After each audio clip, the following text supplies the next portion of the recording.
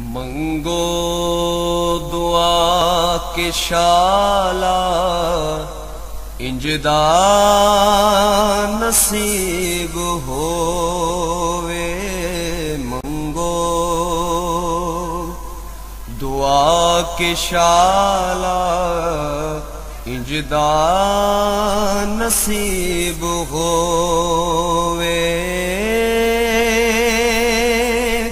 ਜਦ ਆਵੇ ਮੌਤ ਮੈਨੂੰ, ਜਦ ਆਵੇ ਮੌਤ ਮੈਨੂੰ ਸੋਣਾ ਕਰੀਬ ਹੋਵੇ ਮੰਗੋ ਦੁਆ ਕੇ ਸ਼ਾਲਾ ਇੰਜ ਦਾ ਨਸੀਬ ਹੋਵੇ ਜਿਸ ਬਿਸਮਿਲ੍ਲਾਹਿਰਰਹਿਮਾਨਿਰਰਹੀਮ ਅਸਲਾਮ ਵਾਲੇਕੁਮ ਦੋਸਤੋ ਔਰ ਬਜ਼ੁਰਗੋ ਦੋਸਤੋ ਮੈਂ ਤੁਹਾਡੇ ਸਾਹਮਣੇ ਇੱਕ ਵੀਡੀਓ ਇਹ ਹਾਜ਼ਰ ਕ- ਕਰ ਰਿਹਾ ਜਨਾਬ ਇਹ ਤੁਸੀਂ ਦੇਖ ਰਹੇ ਹੋ ਇਹ ਚੀਜ਼ ਤੇ ਬਿਲਕੁਲ ਆਮ ਹੈ ਠੀਕ ਹੈ ਜੀ ਲੇਕਿਨ ਇਹ ਵੇ ਕਿ ਇਹ ਜਿਹੜੀ ਚੀਜ਼ ਤੁਹਾਡੇ ਸਾਹਮਣੇ ਮੈਂ ਪੇਸ਼ ਕਰ ਰਿਹਾ ਇਹ ਥੋੜੀ ਜੀ ਬਹੁਤ ਮੁxtਲਿਫ ਹੈਗੀ ਹੈ ਥੋੜੀ ਜੀ ਵੀ ਤੇ ਬਹੁਤ ਜ਼ਿਆਦਾ ਮੁxtਲਿਫ ਹੈ ਇਹ ਜੰਮੂ ਨੇ। ਜਿਹਨੂੰ ਕਿ ਉਰਦੂ ਵਿੱਚ ਜਾਮਨ ਕਿਹਾ ਜਾਂਦਾ ਹੈ ਔਰ ਇਹਨੂੰ ਆਮ ਸਾਡੀ ਪੰਜਾਬੀ ਜ਼ੁਬਾਨ ਦੇ ਵਿੱਚ ਵੀ ਜੰਮੂ ਕਿਹਾ ਜਾਂਦਾ ਔਰ ਇਹਨੂੰ ਸਿੰਧੀ ਵਿੱਚ ਵੀ ਜੰਮੂ- ਜੰਮੂ ਕਿਹਾ ਜਾਂਦਾ ਔਰ ਇਹ ਗਰਮੀਆਂ ਦਾ ਬੜਾ ਬਿਹਤਰੀਨ, ਬਹੁਤ ਜ਼ਬਰਦਸਤ ਔਰ ਬੜਾ ਅੱਛਾ ਔਰ ਬੜਾ ਹੀ ਆਲਾ ਇਹ ਫਲ ਹੈ ਔਰ ਬਹੁਤ ਕੀਮਤੀ ਹੈ। ਔਰ ਇਸ ਦੇ ਫਾਇਦੇ ਇੰਨੇ ਕੁ ਜ਼ਿਆਦਾ ਕੀਮਤੀ ਨੇ ਕਿ ਬਹੁਤ ਹੀ ਜ਼ਿਆਦਾ ਕੀਮਤੀ ਨੇ। ਲੇਕਿਨ ਅਸੀਂ ਲੋਕ ਸਿਰਫ ਇਹਨੂੰ ਮਾਮੂਲੀ ਫਲ ਸਮਝ ਕੇ ਤੇ ਸਿਰਫ ਮਾਮੂਲੀ ਇਸਤੇਮਾਲ ਕਰਨੇ ਆ। ਹਾਲਾਂਕਿ ਇਹਦਾ ਸਾਨੂੰ ਇਸਤੇਮਾਲ ਬਹੁਤ ਜ਼ਰੂਰੀ ਕਰਨਾ ਚਾਹੀਦਾ ਹੈ, ਕਿਉਂਕਿ ਇਹਦੇ ਇੱਕ ਪੋਸ਼ੀਦਾ ਬੜੇ ਬਿਹਤਰੀਨ ਫਾਇਦੇ ਨੇ, ਬਹੁਤ ਅੱਛੇ ਇਹਦੇ ਰਿਜ਼ਲਟ ਨੇ ਔਰ ਬੜੀਆਂ ਬਿਮਾਰੀਆਂ ਦਾ ਇਸ ਦੇ ਅੰਦਰ ਇਲਾਜ ਹੈ ਔਰ ਅਗਰ ਇਹਨੂੰ ਇਸਤੇਮਾਲ ਇਹਦੇ ਹਿਸਾਬ ਨਾਲ ਇਹਦੀਆਂ ਜਿਹੜੀਆਂ ਆਈਟਮਾਂ ਬਣੀਆਂ, ਬਣਾਈਆਂ ਜਾਂਦੀਆਂ ਨੇ ਉਸ ਦੇ ਨਾਲ ਇਸਤੇਮਾਲ ਕੀਤਾ ਜਾਵੇ ਤਾਂ ਇਹਦੀ ਹਰ ਆਈਟਮ ਜਿਹੜੀ ਨਾ, ਉਹ ਬਿਹਤਰੀਨ ਫਾਇਦਾ ਦਿੰਦੀ ਹੈ। ਔਰ ਇਹ ਤੁਸੀਂ ਦੇਖ ਰਹੇ ਹੋ ਕਿ ਇਹ ਗਰਮੀ ਦਾ ਬੜਾ ਬਿਹਤਰੀਨ ਫਲ ਹੈ ਔਰ ਇਹ ਗਰਮੀ ਦੇ ਵਿੱਚ ਸਾਵਨ ਭਾਦਰੋਂ ਦੇ ਮੌਸਮ ਦੇ ਵਿੱਚ ਤਿਆਰ ਕੀਤਾ ਜਾਂਦਾ ਹੈ। ਅੱਲਾਹ ਤਾਲਾ ਦੇ ਹੁਕਮ ਨਾਲ ਹੀ ਇਹ ਤਿਆਰ ਹੁੰਦਾ ਹੈ ਔਰ ਕਲਰ ਤੁਸੀਂ ਦੇਖ ਰਹੇ ਹੋ, ਇਹਦਾ ਕਿ ਇੱਕ ਬਲੈਕ ਜਾਂ ਕਿਸਮ ਦਾ ਛਿਲਕਾ ਉੱਪਰੋਂ ਹੁੰਦਾ ਹੈ ਔਰ ਅੰਦਰ ਇਹਦਾ ਇੱਕ ਕੁਦਰਤ ਨੇ ਬਣਾਇਆ ਹੋਇਆ ਇੱਕ ਆਪਣਾ ਹੀ ਕਲਰ ਹੈ। ਔਰ ਇਹਦਾ ਜ਼ਾਇਕਾ ਜਿਹੜਾ ਨਾ ਉਹ ਕਦਰੇ ਸ਼ੀਰੀਨ ਮਜ਼ਾਕ, ਮਜ਼ਾਜ ਦੇ ਵਿੱਚ ਹੁੰਦਾ ਯਾਨੀ ਕਿ ਹਲਕਾ ਮਿੱਠਾ ਮਿੱਠਾ ਦੇ ਮਜ਼ਾਕ ਦੇ ਵਿੱਚ ਬੜਾ ਟੇਸਟੀ ਜਾਂ ਬੜਾ ਜ਼ਬਰਦਸਤ ਹੁੰਦਾ ਹੈ ਔਰ ਇਹਦੀ ਤਸੀਰ ਜਿਹੜੀ ਹੈ ਉਹ ਠੰਡੀ ਹੈ ਔਰ ਠੰਡੀ ਤੇ ਖੁਸ਼ਕ ਹੁੰਦੀ ਹੈ। ਔਰ ਇਸ ਤੋਂ ਇਲਾਵਾ ਜਨਾਬ ਇਹ ਦੇ ਇੱਕ ਆਮ ਇਹ ਫਲ ਵੀ ਇਸਤੇਮਾਲ ਹੁੰਦਾ ਹੈ, ਬਹੁਤ ਜ਼ਿਆਦਾ ਇਸਤੇਮਾਲ ਹੁੰਦਾ ਹੈ ਫਲ। ਔਰ ਇਸ ਤੋਂ ਇਲਾਵਾ ਇਹਦਾ ਫਲ ਇਸ ਤਰ੍ਹਾਂ ਵੀ ਇਸਤੇਮਾਲ ਕੀਤਾ ਜਾਂਦਾ ਹੈ ਔਰ ਇਸ ਤੋਂ ਇਲਾਵਾ ਜਨਾਬ ਇਹਦਾ ਜਿਹੜਾ ਪੱਕਿਆ ਹੋਇਆ ਫਲ ਹੁੰਦਾ ਹੈ ਉਸ ਦਾ ਰੁੱਬ ਯਾਨੀ ਕਿ ਇਹਦਾ ਪਾਣੀ ਕੱਢ ਕੇ ਇਹਨੂੰ ਵੈਸੇ ਹੀ ਹੱਥਾਂ ਦੇ ਨਾਲ ਮਸਲ ਕੇ ਤੇ ਇਹਦੀਆਂ ਗਿੱਟਲੀਆਂ ਜਿਹੜੀਆਂ ਨੇ ਉਹ ਅਲੱਗਾ ਕਰਕੇ ਤੇ ਇਸ ਦਾ ਸ਼ਰਬਤ ਜਿਹੜਾ ਹੈ ਉਹ ਬਣਾ ਕੇ ਤੇ ਉਹ ਇਸਤੇਮਾਲ ਕੀਤਾ ਜਾਂਦਾ ਹੈ। ਅਗਰ ਉਸ ਦੇ ਅੰਦਰ ਕੋਈ ਹਲਕੀ ਮਕਦਾਰ ਦੇ ਵਿੱਚ ਨਮਕ, ਚੀਨੀ ਵਗੈਰਾ ਸ਼ਾਮਲ ਕਰਕੇ ਜਾਂ ਥੋੜਾ ਜਿਹਾ ਪਾਣੀ ਸ਼ਾਮਲ ਕਰਕੇ ਤੇ ਇਸਤੇਮਾਲ ਕੀਤਾ ਜਾਵੇ, ਤਾਂ ਉਹ ਬੜਾ ਟੇਸਟੀ ਸ਼ਰਬਤ ਬਣ ਜਾਂਦਾ ਹੈ। ਔਰ ਇਸ ਤੋਂ ਇਲਾਵਾ ਇਹ ਜਿਹੜਾ ਤੁਸੀਂ ਦੇਖ ਰਹੇ ਹੋ, ਇਹ ਬਿਲਕੁਲ ਛੋਟਾ ਛੋਟਾ ਜੰਮੂ ਹੈ, ਯਾਨੀ ਕਿ ਦੇਸੀ ਪਿਓਰ ਜੰਮੂ ਹੈ। ਜਿੰਨਾ ਜੰਮੂ ਮੋਟਾ ਹੁੰਦਾ ਹੈ, ਦਾਣਾ ਜੰਮੂ ਦਾ ਫਲ ਦਾ ਮੋਟਾ ਹੁੰਦਾ ਹੈ, ਉਹ ਫਾਰਮੀ ਹੁੰਦਾ ਹੈ। ਔਰ ਜਿੰਨਾ ਉਹ ਫਾਰਮੀ ਫਲ ਜਿਹੜਾ ਹੁੰਦਾ ਹੈ, ਉਹਦੇ ਵਿੱਚ ਇੰਨੀ ਜ਼ਿਆਦਾ ਤਾਕਤ ਨਹੀਂ ਹੁੰਦੀ। ਜਿੰਨਾ ਕਿ ਦੇਸੀ ਚੀਜ਼ ਦੇ ਵਿੱਚ ਜ਼ਿਆਦਾ ਤਾਕਤ ਹੁੰਦੀ ਹੈ ਯਾਨੀ ਕਿ ਦੇਸੀ ਫਲ ਦੇ ਵਿੱਚ ਬਿਹਤਰ ਅੱਛੀ ਤਾਕਤ ਹੁੰਦੀ ਹੈ ਔਰ ਤੁਸੀਂ ਇਹ ਦੇਖ ਰਹੇ ਹੋ ਕਿ ਫਲ ਜਿਹੜਾ ਨਾ ਅੱਲਾਹ ਤਾਲਾ ਦੀ ਸ਼ਾਨ ਹੈਗੀ ਕਿ ਇਸ ਦੇ ਵਿੱਚ ਇੰਨੇ ਜ਼ਿਆਦਾ ਫਾਇਦੇ ਨੇ ਕਿ ਇਹ ਸਾਡੇ ਇਹ ਮੁਲਕ ਦੇ ਵਿੱਚ ਆਮ ਜ਼ਿਆਦਾ ਪਾਇਆ ਜਾਂਦਾ ਹੈ ਯਾਨੀ ਕਿ ਸਾਡੇ ਪਾਕਿਸਤਾਨ ਦੇ ਵਿੱਚ ਵੀ ਔਰ ਇੰਡੀਆ 'ਚ ਵੀ ਇਹ ਪਾਇਆ ਜਾਂਦਾ ਹੈ ਬੰਗਾਲ ਵਗੈਰਾ ਦੇ ਵਿੱਚ ਵੀ ਇਹ ਜ਼ਿਆਦਾ ਪਾਇਆ ਜਾਂਦਾ ਹੈ ਔਰ ਇਸ ਤੋਂ ਇਲਾਵਾ ਜਿਹੜਾ ਇਹ ਕੱਚਾ ਜੰਮੂ ਹੁੰਦਾ ਹੈ, ਜਿਹੜਾ ਕੱਚਾ ਫਲ ਹੁੰਦਾ ਹੈ, ਕੱਚੇ ਫਲ ਦਾ ਜਿਹੜਾ ਨਾ ਉਹ ਸਿਰਕਾ ਬਣਾਇਆ ਜਾਂਦਾ ਹੈ। ਔਰ ਉਹ ਸਿਰਕਾ ਜਿਹੜਾ ਨਾ ਉਹ ਵੀ ਬੜੀ ਜ਼ਬਰਦਸਤ, ਬੜੀ ਆਲਾ ਚੀਜ਼ ਹੈ ਔਰ ਉਹ ਸੁਫਰਾਵੀ ਮਰਜ਼ਾਂ ਵਾਲਿਆਂ ਵਾਸਤੇ, ਉਹਦੇ ਵਾਸਤੇ ਬੜਾ ਅੱਛਾ ਹੁੰਦਾ ਹੈ। ਔਰ ਉਹ ਵੀ ਮੋਸ਼ਰਾਂ ਨੂੰ ਠੀਕ ਕਰਦਾ ਹੈ। ਔਰ ਉਹ ਮੇਦੇ ਦੀ ਸੋਜ ਨੂੰ ਬੜਾ ਬਿਹਤਰ ਹੁੰਦਾ ਹੈ। ਔਰ ਹੋਰ ਤੋਂ ਇਸ ਤੋਂ ਇਲਾਵਾ ਹਰ ਕਿਸਮ ਦੀ ਸੋਜ ਵਾਸਤੇ ਬਿਹਤਰ ਹੁੰਦਾ ਹੈ। ਔਰ ਤੁਸੀਂ ਦੇਖ ਰਹੇ ਹੋ ਕਿ ਜਿਹੜਾ ਫਲ ਹੈ, ਇਹ ਪੇਚਸ ਵਾਸਤੇ ਵੀ ਬਹੁਤ ਜ਼ਬਰਦਸਤ ਹੈ। ਪੇਟ ਦੀਆਂ ਬਿਮਾਰੀਆਂ ਵਾਸਤੇ ਬਹੁਤ ਹੀ ਅੱਛਾ, ਬੜਾ ਆਲਾ ਹੈ। ਔਰ ਇਸ ਤੋਂ ਇਲਾਵਾ ਜਨਾਬ, ਇਹ ਸ਼ੂਗਰ ਵਾਲੇ ਮਰੀਜ਼ਾਂ ਵਾਸਤੇ ਬੜਾ ਲਾਜਵਾਬ ਕਿਸਮ ਦਾ ਫਲ ਹੈ। ਔਰ ਖਾਸ ਕਰਕੇ ਸ਼ੂਗਰ ਵਾਲੇ ਮਰੀਜ਼ਾਂ ਵਾਸਤੇ ਇਹ ਵੇ ਕਿ ਉਹ ਦੇਸੀ ਜੰਮੂ ਇਸਤੇਮਾਲ ਕਰਨ। ਦੇਸੀ ਜੰਮੂ ਦੇ ਵਿੱਚ ਗਜ਼ਾਈਅਤ ਵੀ ਜ਼ਿਆਦਾ ਹੈ। ਔਰ ਉਹ ਜ਼ਿਆਦਾ ਪੱਕਾ ਹੋਇਆ ਹੋਵੇ ਤਾਂ ਉਸ ਦਾ ਟੇਸਟ ਬਹੁਤ ਜ਼ਬਰਦਸਤ ਹੁੰਦਾ ਹੈ। ਉਹਦੇ ਫਾਇਦੇ ਵੀ ਬਹੁਤ ਜ਼ਿਆਦਾ ਨੇ ਔਰ ਇਹ ਹਕੀਕਤ ਗੱਲ ਹੈ ਕਿ ਉਹ ਜਿਸ ਤਰ੍ਹਾਂ ਕਿ ਸ਼ੂਗਰ ਕੰਟਰੋਲ ਵੀ ਹੁੰਦਾ ਹੈ, ਯਾਨੀ ਕਿ ਇੱਕ ਫਲ ਵੀ ਹੈ ਉਹ ਸ਼ੂਗਰ ਕੰਟਰੋਲ ਇੱਕ ਦਵਾਈ ਵੀ ਬਣ ਜਾਂਦੀ ਹੈ ਮੈਡੀਸਨ ਵੀ ਬਣ ਜਾਂਦੀ ਹੈ। ਦੇਖੋ, ਅੱਲਾਹ ਤਾਲਾ ਦੀ ਇਹ ਸ਼ਾਨ ਹੈ ਕਿ ਇੱਕ ਫਲ ਦੇ ਵਿੱਚ ਅੱਲਾਹ ਸੋਨੇ ਨੇ ਕਿੰਨੇ ਜ਼ਿਆਦਾ ਇਹ ਫਾਇਦੇ ਰੱਖੇ ਨੇ। ਔਰ ਇਸ ਤੋਂ ਇਲਾਵਾ ਇਹ ਤੁਸੀਂ ਦੇਖਿਆ ਕਿ ਵੈਸੇ ਤੇ ਇਹ ਜੰਮੂ ਦੀ ਗਿਟਲੀ ਕਾਫੀ ਮੋਟੀ ਹੁੰਦੀ ਹੈ ਲੇਕਿਨ ਇਹ ਇੱਥੇ ਹੀ ਜੰਮੂ ਦੀ ਗਿਟਲੀ ਹੈ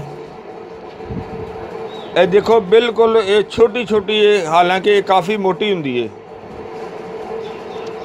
ਇਹ ਦੇਸੀ ਜੰਮੂ ਦਾ ਇਹ ਹੀ ਹੈ ਕਿ ਇਹ ਗਿਟਲੀ ਜਿਹੜੀ ਹੈ ਨਾ, ਇਹ ਤੁਸੀਂ ਲੈ ਕੇ ਇਹਨੂੰ ਅੱਛੀ ਤਰ੍ਹਾਂ ਖੁਸ਼ਕ ਕਰਕੇ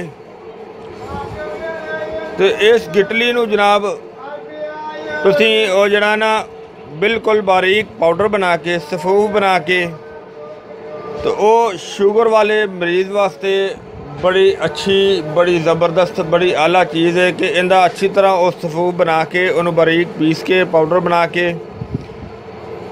ਤੇ ਉਹ ਜਨਾਬ ਅੱਧਾ ਅੱਧਾ ਚਮਚ ਜਿਹੜਾ ਨਾ, ਉਹ ਸਵੇਰ ਸ਼ਾਮ ਖਾਣਾ ਖਾਣ ਤੋਂ ਪਹਿਲੇ ਪਾਣੀ ਦੇ ਨਾਲ ਇਸਤੇਮਾਲ ਕੀਤਾ ਜਾਵੇ ਤੇ ਉਹ ਇਨਸ਼ਾਅੱਲਾ ਇਨਸ਼ਾਅੱਲਾ ਬੜਾ ਅੱਛਾ ਫਾਇਦਾ ਕਰਦਾ ਹੈ, ਬੜਾ ਅੱਛਾ ਫਾਇਦਾ ਰੱਖਦਾ ਹੈ।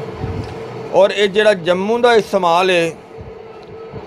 ਉਹ ਕਮ ਅਜ਼ ਕਮ ਸੀਜ਼ਨ ਦੇ ਵਿੱਚ ਜਿਗਰ ਵਾਲੇ ਮਰੀਜ਼ ਨੂੰ ਜਿਹੜਾ, ਜਿਹੜੇ ਮਰੀਜ਼ ਦਾ, ਜਿਹੜੇ ਦੋਸਤ ਦਾ, ਜਿਹੜੇ ਆਦਮੀ ਦਾ, ਜਿਹੜੇ ਕੋਈ ਬੀਬੀ ਦਾ ਜਿਗਰ ਦੀ ਖਰਾਬੀ ਹੋਵੇ ਉਹਨੂੰ ਚਾਹੀਦਾ ਹੈ ਕਿ ਉਹ ਜਦੋਂ ਜੰਮੂ ਦਾ ਸੀਜ਼ਨ ਸ਼ੁਰੂ ਹੋਵੇ, ਉਹ ਡੇਲੀ ਜੰਮੂ ਜਿਹੜਾ ਨਾ, ਉਹ ਲਾਜ਼ਮੀ ਇਸਤੇਮਾਲ ਕਰੇ। ਇਹ ਜਿਗਰ ਵਾਸਤੇ ਬੜੀ ਅੱਛੀ ਚੀਜ਼ ਹੈ। ਜਿਗਰ ਦੀ ਇਸਲਾਹ ਕਰਦਾ ਹੈ, ਇਹ ਖੂਨ ਪੈਦਾ ਕਰਦਾ ਹੈ ਔਰ ਇਹ ਹਾਜ਼ਮੇ ਨੂੰ ਵੀ ਬਹੁਤ ਬਿਹਤਰ ਬਣਾਉਂਦਾ ਹੈ। ਹੋਰ ਵੀ ਇਹਦੇ ਬਹੁਤ ਜ਼ਿਆਦਾ ਫਾਇਦੇ ਨੇ। ਔਰ ਇਹ ਗਿਟਲੀ ਜਿਹੜੀ ਅਗਰ ਕੱਲੀ ਇਸਤੇਮਾਲ ਕੀਤੀ ਜਾਵੇ ਸ਼ੂਗਰ ਵਾਲੇ ਮਰੀਜ਼ ਵਾਸਤੇ ਤੇ ਕੱਲੀ ਵੀ ਬਿਹਤਰ ਹੈ ਅਗਰ ਇਸ ਤੋਂ ਇਲਾਵਾ ਇਹ ਜੰਮੂ ਦੀ ਗਿਟਲੀ ਔਰ ਇਸ ਦੇ ਨਾਲ ਸ਼ਾਮਲ ਕੀਤੇ ਜਾਣ ਕੌੜੇ ਜੌਂ ਔਰ ਇਸ ਤੋਂ ਇਲਾਵਾ ਦੇਸੀ ਕਰੇਲਾ, ਉਹਨੂੰ ਛੋਟਾ ਛੋਟਾ ਕੱਟ ਕੇ ਬੀਜਾਂ ਸਮੇਤ,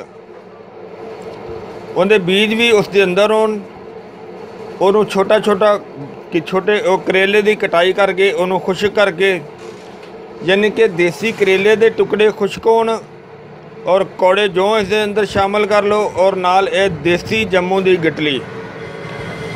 ਇਹ ਤਿੰਨ ਚੀਜ਼ਾਂ ਜਨਾਬ ਅੱਛੀ ਤਰ੍ਹਾਂ ਕੁੱਟ ਕੇ, ਬਾਰੀਕ ਕਰਕੇ ਇਸ ਦਾ ਸਫੂਹ ਬਣਾ ਕੇ ਤੇ ਇਹ ਪਾਣੀ ਦੇ ਨਾਲ ਜਾਂ ਦੁੱਧ ਦੇ ਨਾਲ ਇਸਤੇਮਾਲ ਕੀਤੇ ਜਾਣ ਸਵੇਰ ਸ਼ਾਮ ਨਿਹਾਰ ਮੂੰਹ। ਖਾਣਾ ਖਾਣ ਵਾਲੀ ਆਦੀ ਆਦੀ ਚਮਚ ਸਵੇਰ ਸ਼ਾਮ ਇਸਤੇਮਾਲ ਕੀਤੇ ਜਾਣ ਤੇ ਇਨਸ਼ਾਅੱਲਾ ਇਨਸ਼ਾਅੱਲਾ ਇਨਸ਼ਾਅੱਲਾ ਕਿ ਉਹ ਸ਼ੂਗਰ ਉਤ- ਸ਼ੂਗਰ ਨੂੰ ਬਹੁਤ ਹੀ ਅੱਛਾ ਫਾਇਦਾ ਦਿੰਦਾ ਹੈ, ਸ਼ੂਗਰ ਕੰਟਰੋਲ ਕਰਦਾ ਹੈ ਔਰ ਉਮੀਦ ਹੈ ਇਨਸ਼ਾਅੱਲਾ ਕਿ ਉਹ ਕੁਝ ਅਰਸਾ ਖਾਣ ਦੇ ਨਾਲ ਕਿ ਸ਼ੂਗਰ ਖਤਮ ਵੀ ਹੋ ਜਾਵੇ। ਜਿਸ ਮਰੀਜ਼ ਨੂੰ ਅਚਾਨਕ ਸ਼ੂਗਰ ਹੁੰਦੀ ਹੈ, ਉਹ ਤੇ ਇਨਸ਼ਾਅੱਲਾ ਜ਼ਰੂਰ ਇਹਦੇ ਨਾਲ ਜਿਹੜਾ ਨਾ ਉਹ ਠੀਕ ਹੋ ਜਾਏਗੀ ਤੇ ਜਿਸ ਮਰੀਜ਼ ਨੂੰ ਕੁਝ ਅਰਸੇ ਤੋਂ ਸ਼ੂਗਰ ਦੀ ਅਲਾਮਤ ਹੈ, ਉਹ ਕੁਝ ਦੇਰ ਇਸਤੇਮਾਲ ਕਰਦਾ ਰਹੇ ਤੇ ਅਗਰ ਬਿਲਕੁਲ ਠੀਕ ਨਹੀਂ ਹੋਏਗੀ ਤਾਂ ਉਹਦੀ ਸ਼ੂਗਰ ਜਿਹੜੀ ਨਾ ਉਹ ਅੱਛੀ ਤਰ੍ਹਾਂ ਕੰਟਰੋਲ ਹੋ ਜਾਏਗੀ।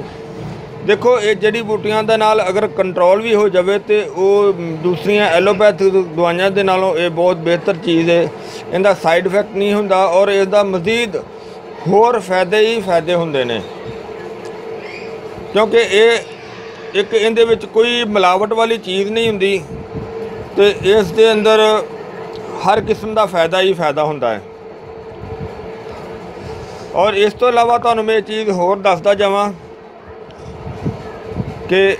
ਇੱਕ ਚੀਜ਼ ਹੋਰ ਹੈ ਕਿ ਜਿਹੜੇ ਜੰਮੂ ਦੇ ਪੱਤੇ ਨੇ, ਜੰਮੂ ਦੇ ਪੱਤਿਆਂ ਦਾ ਬਿਲਕੁਲ ਬਾਰੀਕ ਪਾਊਡਰ ਬਣਾ ਕੇ, ਬਿਲਕੁਲ ਬਾਰੀਕ ਪਾਊਡਰ ਬਣਾਉਣਾ ਹੈ ਔਰ ਉਸ ਨੂੰ ਦੰਦਾਂ ਦੇ ਮੰਜਨ ਦੇ ਵਿੱਚ ਸ਼ਾਮਲ ਕਰਕੇ, ਯਾਨੀ ਕਿ ਉਸ ਦੇ ਅੰਦਰ ਮੰਜਨ ਦੀਆਂ ਚੀਜ਼ਾਂ ਹੋਰ ਸ਼ਾਮਲ ਕਰਕੇ, ਜਿਸ ਤਰ੍ਹਾਂ ਕਿ ਜੰਮੂ ਦੇ ਪੱਤੇ ਹੋ ਜਾਣ ਔਰ ਉਹਦੇ ਚ ਥੋੜੀ ਜਿੰਨੀ ਫਟਕੜੀ ਸ਼ਾਮਲ ਕਰ ਲਓ ਥੋੜਾ ਜਿਹਾ ਨਮਕ ਸ਼ਾਮਲ ਕਰ ਲਓ, ਕਾਲੇ ਲੌਂਗ, ਦੇਸੀ ਸ਼ਾਮਲ ਕਰ ਲਓ ਅਕਰਕਰਾ ਸ਼ਾਮਲ ਕਰਕੇ ਤੇ ਉਹਨੂੰ ਅੱਛੀ ਤਰ੍ਹਾਂ ਬਿਲਕੁਲ ਬਾਰੀਕ ਪੀਸ ਕੇ ਉਹ ਦੰਦਾਂ ਤੇ ਅਗਰ ਮੰਜਨ ਦੀ ਉਂਗਲੀ ਦੇ ਨਾਲ ਮਲਿਆ ਜਾਵੇ ਤੇ ਇਸ ਦੇ ਨਾਲ ਦੰਦਾਂ ਨੂੰ ਬਹੁਤ ਅੱਛਾ ਇਜ਼ਾਫਾ ਹੁੰਦਾ, ਫਿਰ ਬਿਹਤਰ ਫਾਇਦਾ ਹੁੰਦਾ ਹੈ ਕਿ ਦੰਦਾਂ ਨੂੰ ਬਹੁਤ ਜ਼ਿਆਦਾ ਬਿਮਾਰੀਆਂ ਤੋਂ ਜਿਹੜਾ ਬਚਾਇਆ ਜਾ ਸਕਦਾ ਹੈ। ਤੇ ਇਸੇ ਤਰ੍ਹਾਂ ਹੀ ਦੋਸਤੋ, ਕਿ ਇਹਦਾ, ਦੇਖੋ, ਇਹਦਾ ਰਸ ਜਿਹੜਾ ਹੈ ਜਿਸ ਤਰ੍ਹਾਂ ਮੈਂ ਤੁਹਾਨੂੰ ਪਹਿਲੇ ਦੱਸ ਚੁੱਕਿਆ ਕਿ ਇਹਦਾ ਰਸ ਦਾ ਜਿਹੜਾ ਉਹ ਅਲੱਗਾ ਹੈ ਫਾਇਦਾ ਹੈ ਉਹ ਵੀ ਇਸਤੇਮਾਲ ਹੁੰਦਾ ਹੈ ਸਿਰਕਾ ਹੈ ਅਲੱਗਾ ਫਾਇਦਾ, ਉਹ ਵੀ ਇਸਤੇਮਾਲ ਹੁੰਦਾ ਹੈ ਔਰ ਜੰਮੂ ਇਸ ਤਰ੍ਹਾਂ ਵੀ ਖਾਇਆ ਜਾਂਦਾ ਹੈ ਪੱਤੇ ਨੇ ਉਹ ਵੀ ਇਸਤੇਮਾਲ ਹੁੰਦੇ ਨੇ, ਗਿਟਲੀ ਹੈ ਉਹ ਵੀ ਇਸਤੇਮਾਲ ਹੁੰਦੀ ਹੈ ਇਹ ਅੱਲਾਹ ਸੋਨੀ ਦੀ ਸ਼ਾਨ ਹੈ ਕਿ ਦੇਖੋ, ਇਹਦੀ ਹਰ ਚੀਜ਼ ਅਲੱਗਾ ਅਲੱਗਾ ਇਸਤੇਮਾਲ ਹੁੰਦੀ ਹੈ ਔਰ ਇਸ ਦੇ ਛਿਲਕੇ ਦਾ ਵੀ ਅਲੱਗਾ ਇਸਤੇਮਾਲ ਹੁੰਦਾ ਜਿਹੜਾ ਲੱਕੜੀ ਦਾ ਛਿਲਕਾ ਹੁੰਦਾ ਹੈ ਉਸ ਦਾ ਵੀ ਇਸਤੇਮਾਲ ਹੁੰਦਾ ਹੈ ਉਹ ਵੀ ਜਿਹੜਾ ਕਾਫੀ ਦਵਾਈਆਂ ਦੇ ਵਿੱਚ ਸ਼ਾਮਲ ਹੁੰਦਾ ਔਰ ਇਸ ਦੀ ਲੱਕੜੀ ਜਿਹੜੀ ਹੈ ਉਹ ਜਲਾਉਣ ਦੇ ਵੀ ਕੰਮ ਆਉਂਦੀ ਹੈ, ਵੈਸੇ ਵੀ ਕੰਮ ਆਉਂਦੀ ਹੈ। ਤੇ ਦੋਸਤੋ, ਵੈਸੇ ਇੱਕ ਸਿਆਣਿਆਂ ਦਾ ਹੋਰ ਵੀ ਕਹਿਣਾ ਹੈ ਕਿ ਇਹਦਾ ਜਿਹੜਾ ਇਹਦਾ ਰੁੱਬ ਕੱਢ ਕੇ ਔਰ ਮੈਂਗੋ ਦਾ ਰੁੱਬ ਕੱਢ ਕੇ ਉਹਨਾਂ ਨੂੰ ਮਿਕਸ ਕਰਕੇ ਇਸਤੇਮਾਲ ਕੀਤਾ ਜਾਵੇ ਤੇ ਉਹ ਬੜੀ ਅੱਛੀ ਗਜ਼ਾਈਅਤ ਬਣਦੀ ਹੈ, ਉਹ ਬੜੀ ਜ਼ਬਰਦਸਤ ਬੜੀ ਆਲਾ ਗਜ਼ਾਈਅਤ ਹੁੰਦੀ ਹੈ। ਉਹਦਾ ਮਸ਼ਰੂਬ ਬਣਾਇਆ ਜਾਂਦਾ ਹੈ ਉਹ ਬੜਾ ਜ਼ਬਰਦਸਤ ਟੇਸਟੀ ਬਣਦਾ ਹੈ। تو دوستوں امید ہے کہ ان شاء اللہ تمہیں یہ ویڈیو اچھی لگی ہوئی ہوگی یہ لائک کرو یہ شیئر کرو ان سبسکرائب کرنا نہ بھولو کیونکہ شیئر کرو گے تو ہوتاوں کا بھی فائدہ ہوئے گزید دعاؤں یاد رکھ گے اگلی ویڈیو نال پھر ملیں گے اجازت اللہ حافظ السلام علیکم و اللہ وبرکاتہ